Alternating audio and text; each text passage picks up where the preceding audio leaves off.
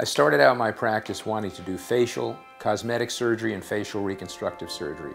About two years into my practice, I had the opportunity of correcting a very complicated facial fracture in a famous New York model. I corrected it. It turned out very successful. Two years after that, this lovely young lady asked me to do a breast operation for her. I did that, and that turned out to her satisfaction, and she was very happy. And then following that, she introduced me to all of her uh, modeling associates, and from then on, my practice just flourished doing uh, cosmetic breast surgery. The bulk of my present practice involves secondary breast surgery.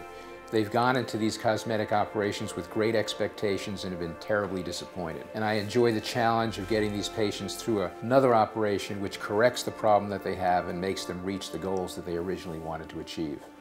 Many of them think they're the only person in the whole world who's had that problem. And I really can establish trust with the patient and give them some reassurance that I can successfully fix it by telling them that I've done this many times. I can show them pre and post-operative pictures of the exact same problem and how we fixed it. And I think that really establishes a bond between me and the patient and establishes the trust that's essential in operating on patients and getting a successful outcome.